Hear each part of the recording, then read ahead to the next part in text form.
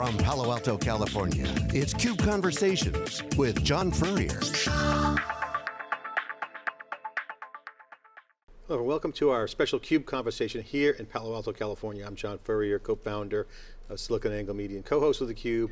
I'm here with Phu Hoang, who's the co-founder and chief strategy officer of Data Torrent. Great to see you again, welcome back. Thank you so This much, CUBE John. conversation. So you're now Yeah. the chief strategy officer, which is code words for, you were the CEO and co-founder of the company, you bring in a pro, Guy Churchward, we know very well, former EMCer, Yeah. uh, real pro. Yeah. Gives you a chance to kind of like get, get down and dirty into the organization and, and, and get back to your roots and kind of look at the, the big picture. Um, great management team. Talk about what your background is, because I think I want to start there because you have an interesting background, former Yahoo executive, we talked before. Take a minute to talk about your background. Yeah, sure. You know, I think uh, I was, I, I'm just one of those super uh, lucky engineer. Uh, I got uh, involved with Yahoo way early in 1996. I think I was the fifth engineer or so. And I, I stayed there for 12 years, ended up running about close to 3,000 engineers, and had the chance to really uh, experience the whole growth of the internet. Um, we built out hundreds of sites worldwide. And so all of our engineering team developed all of those websites uh, throughout the world. You must have a tear in your eye on how Yahoo ended up, but we don't want, we don't want to Yes. go there. talk about that. But you know, folks that are that don't remember the Yahoo during the Web 1.0 days, it was the beginning of a revolution. And I kind of see the same thing happening with blockchain and, and what's going on now. A whole new Wild West is happening. But back then, you couldn't buy off the shelf. You would certainly buy servers, but the software, you guys were handling kind of a first generation use case. That's right. And folks may or may not know, but Yahoo really was the inventor of Hadoop Yep. um, doing Hadoop at large scale. Obviously, you know, MapReduce written by Google, but the rest Yep. is you guys were deploying a lot of that stuff. So you had to deal with scale and write your own software for big data before it was called big data. That's exactly right. You know, it's interesting because uh, originally we we thought that our job was really, f- you know, customer-facing website, and all of the data crunching and massaging that we would actually be able to use enterprise software to do that. And uh, very quickly, we learned at the pace of scale of data that we were generating, that we really couldn't use that, that software. And uh, we were kind of on our own. And so we had to invent approaches to do that. And uh, the thing we knew a lot was commodity servers on racks. Yeah. And so we ended up saying, well, so how do I solve this big data processing problem using that hardware? And so, you know, it didn't happen overnight. It took, you know, many years of doing it right, doing it wrong, and fixing it. But you start to iterate around how to do distributed processing across Yeah. many, you know, hundreds of servers to It's solve interesting. Yahoo had the same same situation, and ultimately Amazon ended up having because they were a pioneer, and right. people dismissed Amazon Web Services like, oh, it's just you know hosting and That's you know right. bare metal on the cloud. But really, what's interesting is that you guys were hardening and operationalizing big data. That's right. So I got to ask you the question, and because this is this is kind of a more of a geeky computer science concept, but batch processing has been around since the mainframe, and that's become normal. Yep. Databases, et cetera, software. Yep. But now, over the past you know eight years in particular, as big data and unstructured data has proliferated in massive scale, certainly now with Internet of Things, you see it booming. This notion of real-time data in motion. So you have two paradigms out there: um, batch processing, which is well known, and Yep. you know, you know, you know, data in motion, which is essentially real time. Yep. I said self-driving cars. I mean, the evidence is everywhere where this is going, and Yep.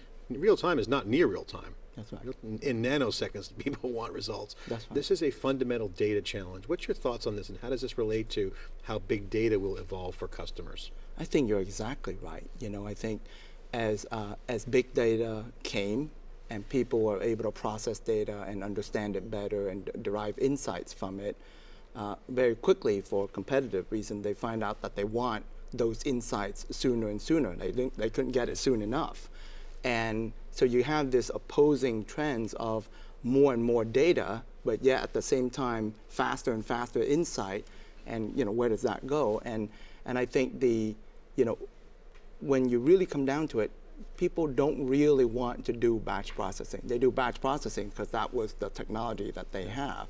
If they have their way, they don't want to just, you know, information is coming into their business. Customers are interacting with their products constantly, 24 by 7. So those events, if you will, that are giving them insights are happening all the time, except for a long time, they store it into a file. They wait till midnight and then yeah. they process it overnight. Um, more and more, they there are now capabilities yeah. in memory distributed to do that processing as it comes in, and you know that's one of the big motivation for uh, forming Data Torrent. And you know, I want to get to Data Torrent in a minute, but I want to get some of these trends because I think they're important to kind of right. put together the two big pieces of the puzzle, if you will. One is you mentioned batch processing in real time. Yep. You know, the, the companies historically have built their infrastructure and their operations, IT and whatever, around that, how storage was procured right. and right. deployed. And now with IoT and the edge of the network becoming huge, it's a big deal. So data in motion is pretty much well agreed, it's agreed right. upon amongst most of the smart people, this is a big issue. Yep. But let me throw a little wrench in the equation. Cloud computing kind of changes the security paradigm. Yes. There's no perimeter anymore, so there's no door you can secure, no firewall model once you get in, you're in, and that's where we're seeing a lot of attacks on ransomware and a lot of cyber attacks. Is the penetration is everywhere. Yeah. Now there's APIs and everything. So when you bring cloud into it, and you bring in the fact that you got data in motion, what is the challenge for the customer? How do top architects get their arms around this? What's the solution? What's the what's the what's your vision on that? Well, I, will start by saying it's a hard problem, you know, and I think you're absolutely right. I think we're still in the phase where the problems are very visible about how do you solve this. I think, I think we're still, as an industry, still figuring out how to solve it. Because you're right, uh, the security uh, issues. You know, security is not this one-point tool. It's it's an entire ecosystem process for doing that. And the cloud opens up all all of those uh, opportunities for for fraud and so on. So it's still an ongoing challenge. I think um, you know the, the trend of, of memory becoming cheaper and cheaper so that things are done more in memory and less in storage could actually help a bit on that. Mm. Uh, but overall, uh, security, uh, internal, external processes are. It's a moving still, train. Yeah, it's a moving. So let me exactly. ask you about the, the big other trend to throw on top of this. This is really kind of where you see a lot of the activity, although some will claim that the app stores not seeing as many apps now as they used to be, but certainly in the enterprises, massive growth in application development. That's right. So ready-made apps with DevOps and cloud have built a whole culture of infrastructure as code, which is essentially saying that I'm going to build apps and make the infrastructure kind of invisible. You're seeing a lot of apps like that called ready-made apps, however you want to call it. Those are the things. So how are you guys at uh, Data Torrent handling and supporting that trend? we are we're in the middle we're right smack in the middle of exactly that trend. You know, one of the theses that we had was that uh, big data is hard. You know, Hadoop is hard.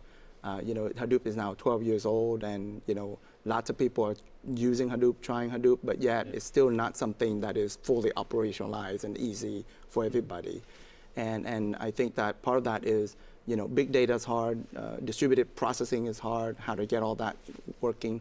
So there were two things we were focusing on. So one was the real-time thing, but the other one was how do we make this stuff a lot easier to use? So we focused a lot on building tools uh, on top of the open source engine, if you will, to kind of make it easy to use. But the other one is exactly that, ready-made apps. You know, as we continue to learn in working with our customers and starting to see the patterns, you know, putting kind of bigger functional block together so that it's easier to kind of build these big data application mm-hmm. at this next layer. You know, uh, machine learning, rule engines, whatever not. But how do you piece that together in a way that is 80% done so that the customer only has you know a little bit the last. So you guys mile. want to be the tooling for that. Yeah, I, I think so, and I think um, I think you, you, have to. I mean, this stuff, you know, if you have to kind of go through the whole six layer of, of what it takes to get the final, mm-hmm. uh, you know, uh, business value out, you, are not going to have the the, the skill set to do it. You know, so the more we can abstract and get it to the top, the better. For every company's got their own um, DNA. Intel has Moore's law. You're the co-founder of Data Torrent what's the DNA of your company as the founder? And tell, talk about what's the, what do employees you try to instill into your culture um, that, that is the DNA that you want to be known for? Interesting. So I, I start out sort of on the technical or, or, you know product side. Actually, our DNA is all about ops. Uh, we, we think that, um, especially in big data, there's lots of ways to do prototypes and get some proof of concept going. But getting that to production, to run it 24 by 7, never lose data, that's really has been hard. And so uh, our, our entire existence is around how to truly build 24 by 7, no yeah. data, fast uh, application. So all of our engineers live and breathe how to how to do that well. You know, ops is, is uh, consistent with with uh, stability, and Yeah. it's interesting. You know, Silicon Valley is going through its own transformation around uh, programmers and, and the role of entrepreneurship. It's interesting in the enterprise. They've always kind of like, oh, no big deal, because at the end of the day. They need stuff to run at five nines. These are networks, and, and the old saying that Mark Zuckerberg used to have is, you know, move fast and break stuff. They've changed their tune to move fast and be 100% reliable. So uh, this is the trend that the enterprises have always put out there. How do companies stay and maintain that ops integrity uh, as and still be innovative without a lot of command and control and compliance restrictions? How do they experiment with this the data tsunami that's happening and maintain that integrity? My answer to that is I, I think as an industry, um, you know, we have to bu- build products and tools to allow for that. I mean, some of that is processes in, inside a company, but I think a lot of that can be uh, productized. You know, you, you, the, the advances in, in that big data processing layer and, and how to uh, how to recover, you know, get new containers and do the, all the right things, allow for the application developer not to have to worry about many of those segments. So, it's, I, I think technology exists out there for tools to be developed to, to, to deal with a lot of that. I love talking with the entrepreneurs, and you're the co-founder of Data Torrent. Uh, talk about the journey you've been on from the beginning. As you have a new CEO, which, you know, as a CEO, you want to lighten the load up a little bit. It gets bigger. You got to have HR issues. Things are happening. You're putting culture in place and trying to scale out and, and get a groove swing. And certainly Uber could have taken a few uh, play tips from your playbook and as bringing in senior management. You did it at the right time. But talk about your journey, um, the company, and, and, and what people should know about Data Torrent. Well, I think, uh, you know, we, we're just a bunch of guys that are just still trying to make a contribution to the industry. I think we saw an opportunity to, to really help people move towards big data, move towards real-time uh, analytics, and, and really help them solve some really hairy problems that, that they have coming up with data. Uh, um, from a from a skill set and personally, you know, I think uh, you know, kind of my particular strength was really about that initial vision, uh, be able to kind of build out a set of capabilities, and and maybe get a first set of you know half a dozen wins and really proof point, but to sort of make it into a you know, a machine that, that you know, has all the right marketing tools and business development tools and so on. Uh, it will be great to be able to bring in someone like Guy, Yeah. who has done that many, many times over and has been uh, super successful at that, to take us to the next level. It takes a lot of self-awareness too. I mean, you probably had your, your moments where should you stay on, be the CEO, and but what are you doing now? I mean, because you get down and you can get into the products. Are you doing a lot more product tinkering? Are you involved in obviously the roadmap? What, what's your what's your involvement day to day now? Oh, I, I, I love it because it's exactly what, uh, what I enjoy most, which is really interacting with customers and users and really continue to hone in on the product market fit right? and, and continue to understand what are the pain points, what are the issues, and how can we solve it. All coming from uh, not so much a services mentality, but a product mentality. Yeah. How do we really At the cloud ops too. I mean, that's Yeah. a big area. So what's the big right. problem that you solve for the customers? What's the big big um, hairy problem? really easy how to productize, how to operationalize this, uh, this data pipeline that they have so that it can truly be accepting real live business data that they are getting in and giving them the insight. Yeah. Been a lot of talk about automation and AI lately. Obviously, it's buzzword. Um, you know, Wikibon just put out a report on called True Private Cloud that shows all the automations actually going at and, and replacing non-differentiated labor, which actually like racking and stacking gear. yeah. Moving to value, so actually there'll be more employment um, on that side. But talk about the role of automation in the data world, because if you just think about the, the amount of data that companies like Facebook and Yahoo take in, you need machine learning, you need automation. What is the key to automation in, in a lot of these new emerging areas around large data sets? It's so funny. Yesterday I was driving, I was listening to a KQED segment, and they were talking about uh, the, in its next phase, uh, AI and machine learning is going to do sort of the first layer of all the uh, reporting, right? So you actually have reporters now doing much more sophisticated reporting because there's an AI layer that has a template of what are the questions to answer, and they can just spill out all the all the news for you. Um, Paid by cryptocurrency. yeah. um, It's, uh, I think, I think machine learning and AI will be everywhere. Uh, and, and we will continue to um, learn and, and it will continue to get better at doing more and more things for us so that we get to kind of play at that creative, disruptive layer while it does all the menial tasks. And I think it'll, it'll, it'll touch every part of, of our civilization. Uh, the technology is getting incredible, the algorithms are incredible, the power, uh, the computing power to, to allow for that is, is getting exponential. So, um, uh, and I think it's super interesting. Uh, the, the, uh, the, the, engineers are super interested in it. Um, everything we do now revolves around, you know, when we talk about the analytics layer at, at real time, it's all about machine learning scoring and how to rule rules and all that. Great to have you here on the Cube conversation. Give you the last word. Talk, give a quick plug about Data Torrent. What should your customers know about you guys? Why should they call you? Uh, well, uh, you know, we're, we're a company uh, solely focused on um, bringing big data applications to production.